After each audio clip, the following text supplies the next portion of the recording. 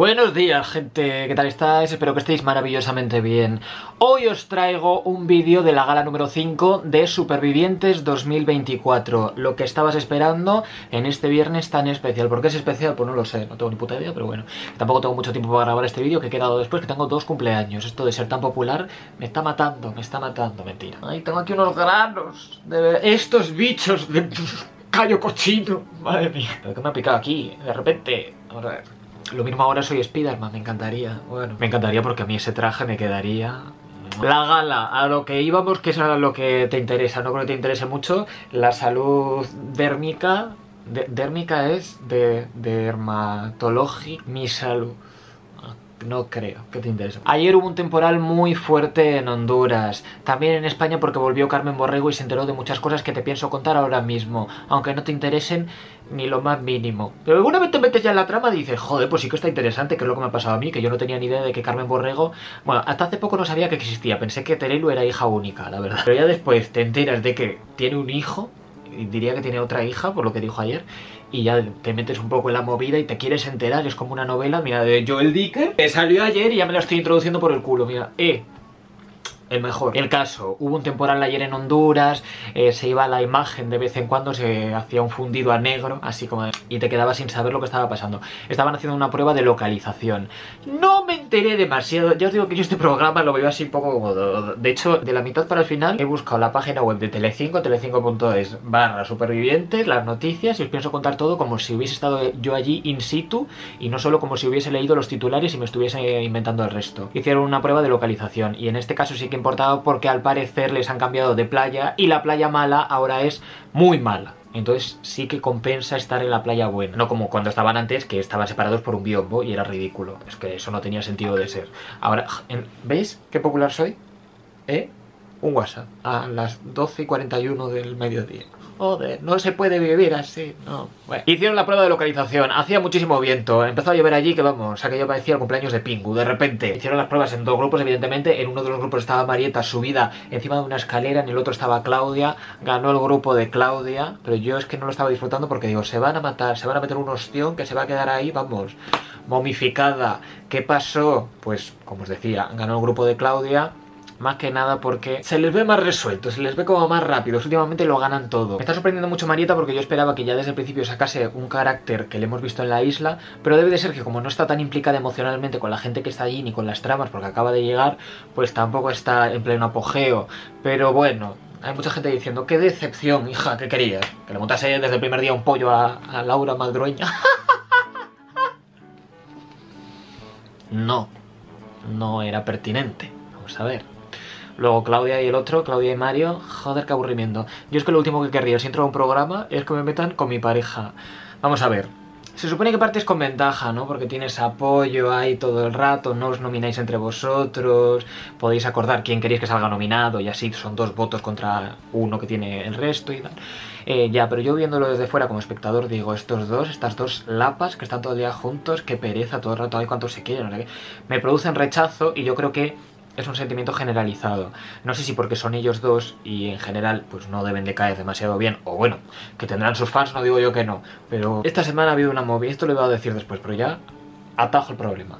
Esta semana ha habido una especie de trama, que no era ni trama ni era nada, eso era una mentira como una casa, en la que Claudia decía poder estar embarazada por unas sensaciones corpóreas que estaba sintiendo. Eh, no era así. O sea, tú la veías y decías, esta mujer no está embarazada, no porque estuviese muy delgada, que podía estar de, mm, embarazada de tres días si había un follado detrás de una palmera, pero yo notaba ahí que estaba intentando tirar de esa trama como para tener un poco de atención, de minutito de pantalla, porque si no estás ahí tomando el sol sin hacer ni el huevo, después no sacas una sonrisa en, las galas a la gente, no sé, que no digo que como supervivientes lo estén haciendo mal, honestamente no tengo ni puta idea, el otro día gané una prueba de estar quieta.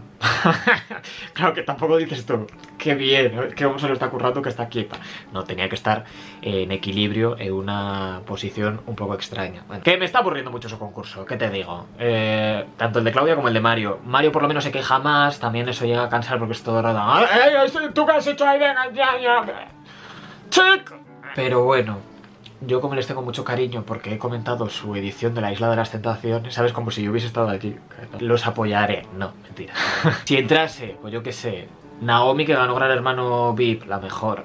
Eh, Marta Peñate, que estuvo el año pasado y quería que ganase también. De este año, a ver, ¿quién me ha caído bien? Marieta, pues mira, Marieta está ahí, ¿no? Pues la apoyaré a ver si hace algo, ¿no? Si no, no hay nada que apoyar, claro, si no hace nada. Y de chicos, pues a ver, uno que me cayese bien. Generalmente los chicos que me caían bien, la novia les ponía los cuernos o se portaba muy mal con ellos o les hacía ahí un poco de luz de gas y decía yo, jo, qué pena, con lo buenos que son. Pero todos han acabado volviendo con sus novias, entonces ya no me cae bien nadie.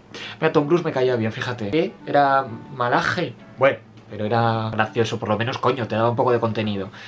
Da igual. Llevo 6-7 minutos grabados y no he dicho absolutamente nada, nada, nada, nada. Estoy hablando de, de Mario y de Claudia, ¿no? Vale. Eh, que dijeron que si estaba embarazada. Estaba en la trama, le llevaron un predictor de estos, un Clear Blue. Y nada, anoche en mitad de las nominaciones les dijeron que, ah, no, que ha salido negativo. Oh, busca otra trama, hija. Ponnos a follar otra vez a ver si conseguís para dentro de dos semanas decir, ahora sí, ahora sí. No lo creo, sinceramente. En cualquier caso, ganó el grupo de Claudia, la prueba de localización decidieron irse a la, playa buena y entonces han hecho la inversión. En cualquier caso tú estarás diciendo, ¿por qué me estás hablando de la isla si a nadie le importa la isla cuando lo importante está en España con Carmen Borrego y toda la movida con su hijo? Pues te lo voy a explicar. Eh, Carmen Borrego para Damis, ¿vale? Resulta que Carmen Borrego es la hija de María Teresa Campos, María Teresa Campos, que tiene otra hija que es Terelu Campos, ¿vale? Hasta ahí, no sé si tiene más, honestamente no me he metido tanto en el lore Campos no me interesa.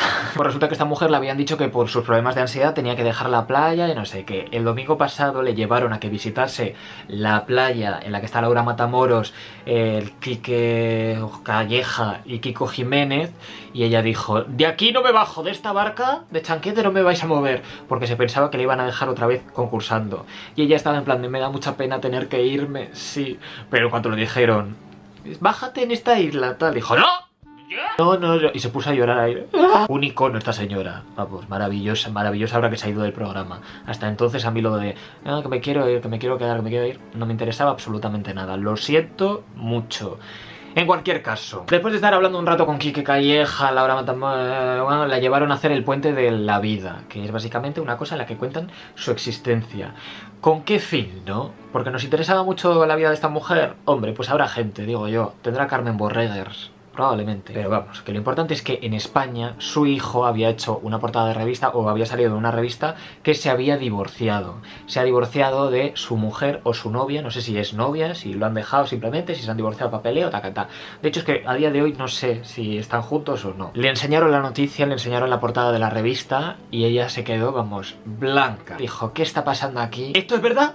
¿Esto, ¿Esto, es verdad? Y se puso a dar un discurso. Es que era como, estaba sorprendida. Sí, tampoco te creas tú, ¿no? Como que no lo exteriorizaba demasiado. Tenía un discurso muy cabal, parecía bastante pausada. Tú cuando te pones nervioso no sabes qué decir, estás como bloqueado, ¿no? Bueno, habrá gente que maneje el estrés de mejor forma que yo, pero esta mujer pues se ve que es tranquila. Bueno, igual es que tiene el don de su madre, de saber cuando estás en televisión y tienes que dar exclusivas y tienes que hablar desde el fondo de tu corazón y no mentir en absoluto. No sé si lo hizo por otra parte. Pero se supone que en esta semana, de la que la traían a España y todo, ella ha estado como una mujer burbuja, que no ha podido ver absolutamente nada, no ha podido hablar con nadie, no ha tenido acceso a la prensa, ni a su móvil, ni nada.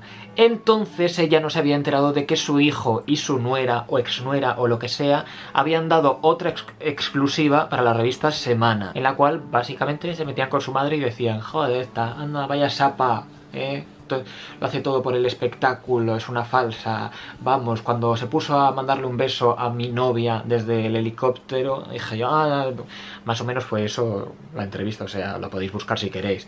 No es tan interesante, o sea, no es tan interesante si no te interesa este tema como a mí, pero a mí, por supuesto, lo que me interesaba más era la reacción de esta mujer al enterarse. ¿Qué hicieron en el programa? Pues llevaron a su hermana Terelu para que se lo contase ella in situ. Más que nada porque Terelu también es una experta profesional en la televisión y sabe marcar los tiempos. Ahí llegó la Terelu, se reencuentran, ¿no? Hola, ay, ¿qué tal cariño? Y un beso, no sé qué.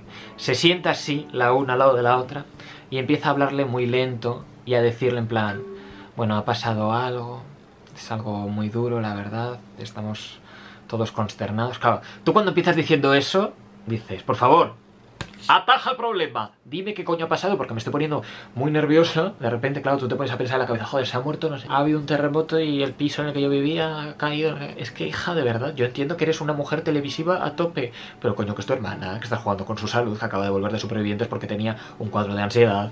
Vamos a ver. Y le dijo, ha habido una exclusiva, ha salido una exclusiva esta semana en la que se meten contigo, no sé qué. Pero ella sin decir quién, ¿eh? Entonces Jorge Javier Vázquez le dijo, Checa, por favor, dile quién ha hecho la exclusiva. Oh, pues tu hijo, tu hijo ha hecho la exclusiva. Tu hijo y tu... ¿Tú no eres? No, no, se, no se sabe, no se sabe. Y ya la otra, racarra, racarra, racarra, dijo, mira, ni pena ni hostias. Me ha apuntado aquí lo que dijo, que lo he sacado de la web, copiar y pegar de Telecinco. Terelu le dijo, ayer miércoles ocurrió algo, se produjo la portada de otra revista con cosas muy injustas, con mentiras y manifestaciones dolorosas. Claro, la otra diciendo, joder, se entiende que sobre mí, ¿no? No me estás hablando de que Ania, la de Gran Hermano 1, se ha metido con el novio de, de la prima... Va sobre mí, sin decirle quién, tócate los huevos. Y al final ella contestó, mía, toda la vida tiene un límite y mi conciencia como madre la tengo meridianamente clara. A ti, si tú te enteras de esta noticia y te quedas en shock, ¿cómo eres capaz de decir la palabra meridianamente? Hay que ser muy culto, ¿eh? Vamos a ver. Que no digo yo que no lo sea, Carmen Borrego, aunque por el nombre ya dice, joder. Me puedo morir en este instante que me moriré como una gran madre. Y además es que Jorge Javier Vázquez le dijo, las madres no tienen que aguantar continuamente lo que hagan los hijos. Y eso es así y no de otra manera. Vamos a ver, tú por tener un parentesco, por ser madre o hijo de, no tienes que aguantar lo que tu progenitor o tu descendiente hagan todo el rato. Y bueno, pues probablemente durante esta semana se cebará mucho el tema. Yo creo que debería haber unos servicios mínimos de sálvame esto lo llevo diciendo desde que lo cerraron, porque hay situaciones en la vida que requieren que se vuelva a abrir el programa y no se nos está dando. Luego tienes a Ana Rosa Quintana que no se cansa de hacer menos y menos y menos audiencias y ahí la tienen. Anda la tía, vamos, que no la quitan del sitio ni con agua caliente. ¿Qué sabe Ana Rosa Quintana para que no le quiten su puesto de Mediaset? Pregunto yo, ¿eh? Porque esto no es normal. No es normal. La reina de las mañanas. Ah, ahora se ha descubierto que no es que fuese la reina de las mañanas, es que la gente ponía Telecinco de manera instintiva y lo dejaba ahí de fondo mientras se ponía a hacer el puchero. Por las tardes ya, fíjate, ya no interesa tanto, que ella dice todo el rato que es porque en su programa ponen anuncios y en la competencia no pone anuncios. ¿Y no será que la gente se ha cansado de ti? Como que ya no creas esa afinidad que tú crees con el público. Pues nada, enhorabuena a la ganadora de las audiencias, que son Soles Onega, y enhorabuena también a la perdedora, que eres tú, Ana Rossi. Lo dicho, que vuelva Sálvame, Mediaset. ¿Qué estáis haciendo con vuestra vida? De verdad. Otro de los temas que surgieron durante la gala fue un vídeo en el cual Pedro García Aguado, ya sabéis, hermano mayor, ese hombre que trata de corregir la conducta de adolescentes con unos problemas de ira importantes, salió en un vídeo haciendo como... ¡No puedo más! ¡Mierda! ¡Mierda! que el chaval no puede más, lo entiendo perfectamente. Dice, eh, si no tengo fuerzas no tengo nada, como aquella canción de, me amarán. Si no tengo fuerzas, no tengo nada. es inhumano esto. Un puñado de arroz para todo el día. ¿Y cuánto estás ganando por comer solo un puñado de arroz al día? Claro, que tú te puedes quejar. No sé, yo no digo que no te puedas quejar. Pero probablemente con lo que ganas en un día ahí, te dé para comprarte tus buenos 200 paquetes de arroz por lo menos, ¿no? ¿A quién coño se le ocurre esto? ¿Qué puta mierda es esto? Yo creo que está la Dakota viendo el programa diciendo, joder, este Ah, decía de mí, ¿eh? Madre. Y bueno, habrá habido otras movidas, pero no eran tan importantes. No me han hecho tanta gracia. Sí, se ha peleado Rubén con Aura, otra vez. Pues bueno, Aura le ha dicho que es muy feo. Rubén no sé qué le ha dicho. Qué interesante, ¿eh? Me gustaría que algún vídeo de Aura fuese como sin discutir, ¿sabes? Como que pusiese un vídeo en plan momentos graciosos de Aura. Y luego cinco segundos después acabaría y ya seguiríamos, pues yo que sé, Arcano rapeando o algo. Así que nos desplazamos hasta la otra playa en la que en este momento se encuentra Laura Matamoros, se encuentra Quique Jiménez y también Kiko... No, Kiko Jiménez y Quique Calleja. Quique Calleja, que yo no sabía si era familia del, del de las entrevistas, este del rubio. ¿Cómo se llama ese hombre? Calleja también, no sé. Bueno, ese que se parece mucho a, Mercedes Mila antes. Pues resulta que Jorge Javier Vázquez le dijo a Laura Matamoros, a ti te gusta Kiko. A Laura le gusta Kiko, a Laura le gusta Kiko. Kiko Jiménez, que es el que estaba al lado. Y ella dijo, no, a mí que me gusta, que a mí me gusta, a mí me gusta Carlos Alfredo, el de la Boquis. No, le dijo, me gusta más, eh, mi tipo es Javier Hungría, que es ese que está ahí, que es el exnovio de Elena Tablada, o exmarido también, que está en la otra isla. Sinceramente, a mí esto me sonó como cuando estás jugando al lobo, al juego este del pueblo duerme y tal, y de repente alguien dice, yo creo que ha sido tú, o sea, tú, yo. Y tú, no, va a ser Juan, va a ser Juan, como en plan para desviar la atención. Que no digo yo que a esta mujer no le guste Javier Hungría, pero eso tampoco implica que Kiko Jiménez le pueda gustar un poquillo. Honestamente me da igual, es que Laura Matamoros el otro día hicieron una prueba de, inteligencia, bueno, de inteligencia de cultura, que no tiene nada que ver la inteligencia con la cultura, pero bueno, hicieron una prueba de cultura y les preguntaron cosas como... ¿Cuál es el número pi? Y ella dibujó un infinito. Luego le preguntaron, ¿cuál es el triángulo que tiene todos los lados iguales? Y ella dijo el hexágono. Y ya una que le quedaba recientemente cerca, ¿no? cuando surgió el COVID, ¿no? cuando fue la primera cepa de COVID, cuando se empezó a hablar de ello. ¿no? Tú puedes decir 2020 porque es cuando llegó a España, vale. 2019 fue cuando se descubrió y se empezó a hablar un poco de ello, que decíamos, jaja, el bicho, nada, el murciélago, anda este, no sé qué, me al chino. Perfecto. 2018. 2018 dijo ella. ¿Qué 18? Pero, ¿18 de qué? Igual dijo, ya estaba por ahí, estaba en el ambiente, se veía venir. Es que lo de las pruebas de cultura en este programa son que no digo yo que te tengas que saber todas y sobre todo que en un momento de tensión puedas decir, ay, ¿de dónde era Van Gogh? ¿No? Puede ser de, Bélgica, de Holanda, puede ser alemán, pero coño, igual me voy a callar porque luego seguro que la cago yo en alguna pregunta de cultura general que me hagáis un día por la calle y ya decís, si te reías tú de Laura Matamoros.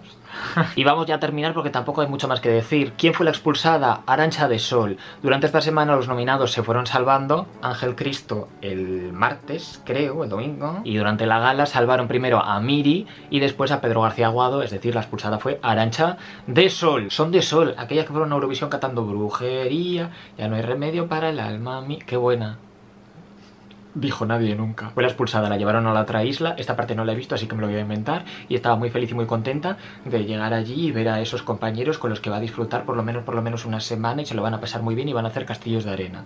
No tengo ni puta idea, sinceramente, lo mismo esa mujer ya está en su casa porque ha querido irse. Vale. En este caso la prueba de líder fue una prueba de apnea, que es la prueba de aero presupuesto, me parece muy bien, pero claro, si la haces todas las semanas ya sabes quién va a ganar, así que este año me alegro mucho de que no la hagan tan a menudo. ¿Quién la ganó? Pues por un lado, del grupo de los que ahora están en la playa Olimpo, la ganó Rubén Torres como siempre, y por el otro lado ganó Gorka. Los líderes de siempre, vamos, ahí están todo el rato. No les quito mérito. Y ojalá, coño la cámara, y ojalá lleguen a la final y ganen y sean muy felices todos. Honestamente me la suda. Que el Gorka hizo tres minutos y pico y dijo que podía haber llegado a los cuatro. Hombre, no. Creo que le han acusado de egocéntrico y tal, lo he visto antes en Twitter, porque como que salieron sus compañeros bastante antes y él dijo, no, yo aguanto para ver cuánto tiempo puedo aguantar. Y todos en casa diciendo, pues nada, si le hace ilusión al chaval a ver cuánto aguanta, pues ahí está. No lo puede hacer eh, en dos horas cuando llega a la isla suya. Así que como todas las semanas los líderes pudieron nominar disciplinariamente, no, eh, directamente a uno de sus compañeros de cada grupo. Entonces Rubén nominó a Aura, por supuesto, porque no la soporta, mientras que Gorka nominó a Marieta porque es la nueva, y ya, ya tienen esa excusa hasta el final. Por cierto, Nagore el otro día se supone que iba a entrar, no iba a entrar en sustitución de Carmen Borrego, pero que al final ha dicho lo más lógico, que es que yo paso de entrar a un programa un mes después de que empiece, porque yo, si voy, voy a ganar, y no me van a dejar ganar en un concurso de supervivencia, si entro un mes después, van a estar todo el rato ahí con él, y tú llegaste más tarde, entonces no puedes comer este trozo, mientras que el grupo nominó, por un lado, a Pedro García Aguado, y por el otro, a Blanca Manchón. Manchones. Por mí que se vaya Aura. no, me, cae bien, lo eh, por mí que se vaya cualquiera, la verdad. Menos Marieta, que la mi pobre de momento no está haciendo nada, pero yo confío en ella. Confío que haya una trama en la que esté metida y que le lleve hasta la final. Eso espero yo. Decidme en los comentarios quién creéis que va a ser el expulsado de esta semana. Os leo fervientemente... ¿Por qué siempre intento decir esa palabra que no me sale? Es fervientemente... Alexa, ¿existe la palabra fervientemente? Bueno, que da igual, que me voy. Dejadme en los comentarios lo que queráis, como si me queréis contar vuestra vida, que os lo voy a leer y os doy un corazón así de... Adiós amigos. No, espera, seguidme en las redes sociales que me llamo Maquena LX. Os mando un beso muy fuerte y nos vemos en el próximo vídeo. Adiós amigos, goodbye my friends. Sigue a la banda, que con la banda todo va bien, parram pam pum, cham.